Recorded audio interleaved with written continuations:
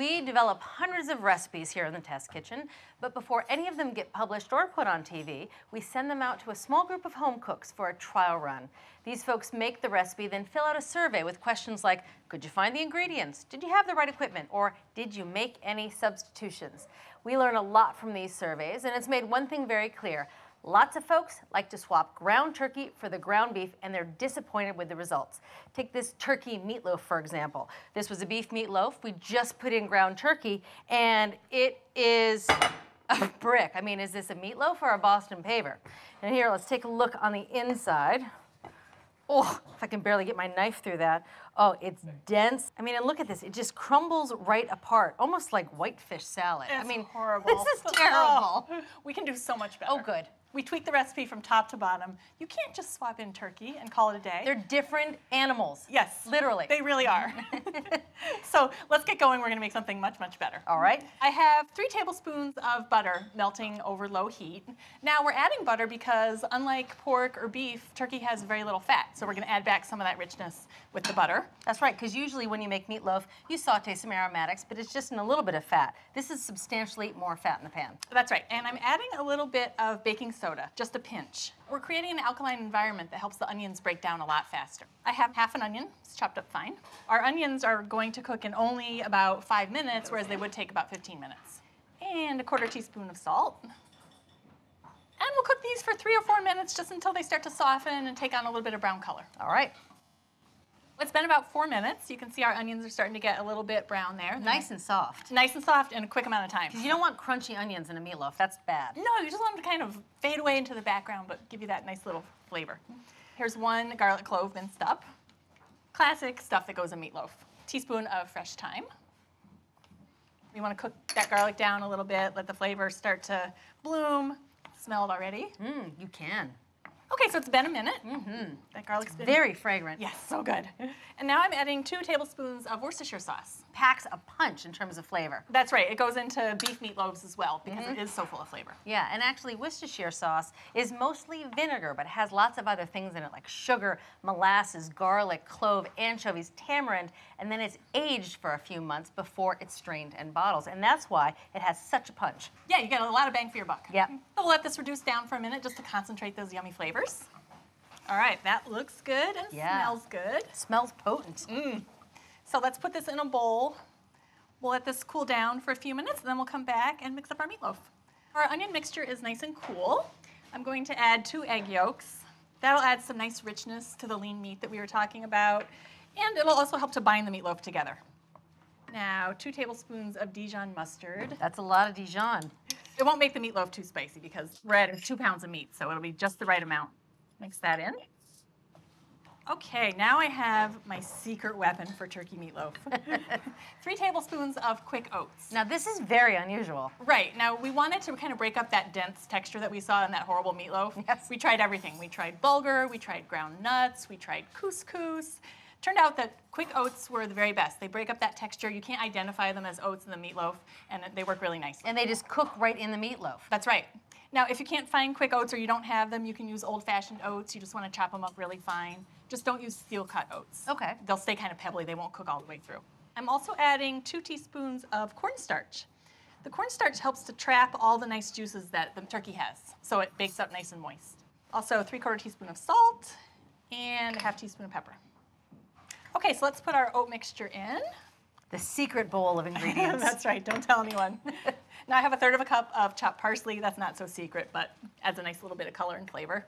Half a cup of Parmesan cheese. Now, Parmesan has a ton of umami flavor, and turkey doesn't have a lot of that, so the Parmesan is going to give us that nice savoriness that turkey lacks. That's a lot of flavor packed into that little bowl. It sure is, plus some texture from those oats. That's right. So now it's time for the turkey. It's turkey time.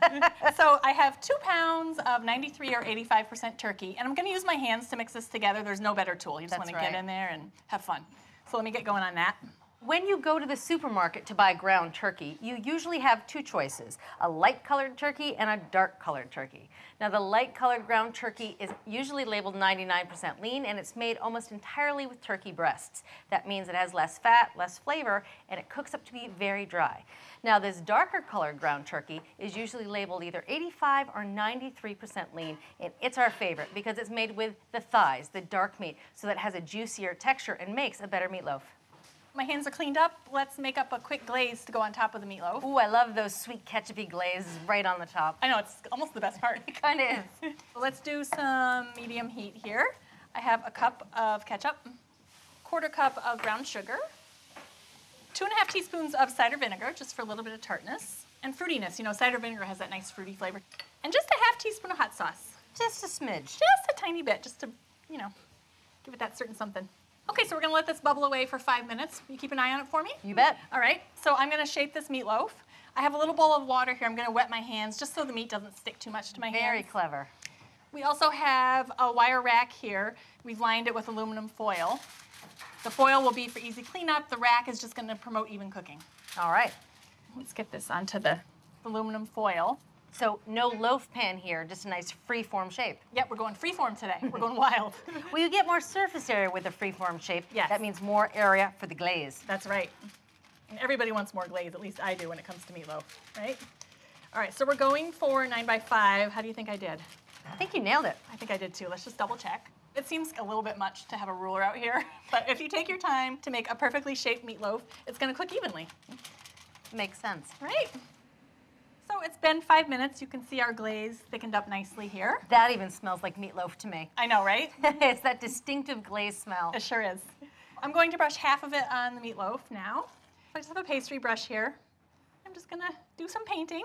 and we want to paint the sides too, not just the top, because we want that yummy glaze all around. This is another advantage of doing freeform, is that you get more glaze. So we're gonna bake this in a 350 degree oven for 40 minutes. Then we'll take it out and add the rest of that glaze. Mmm, lacquer it on the top. Yeah, we want that first layer to set and dry so we can add even more glaze. Nice. And then we'll return it to the oven for another 35 to 40 minutes. All right, that is looking pretty good to me. I think that's about half. I'll get the oven door for you. Thank you. We're doing the upper middle rack here, 350 degrees for 40 minutes. All right. Ooh, that's looking good. That looks awesome. All right.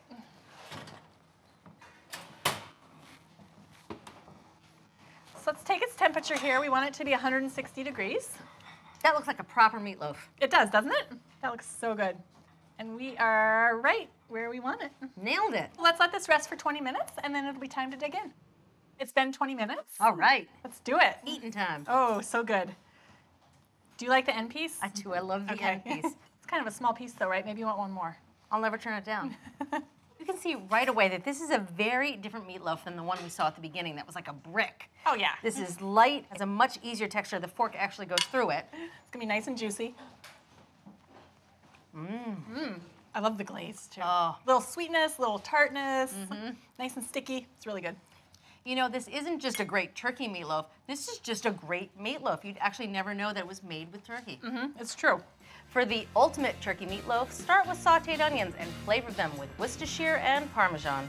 Add quick oats for texture and be sure to use dark ground turkey.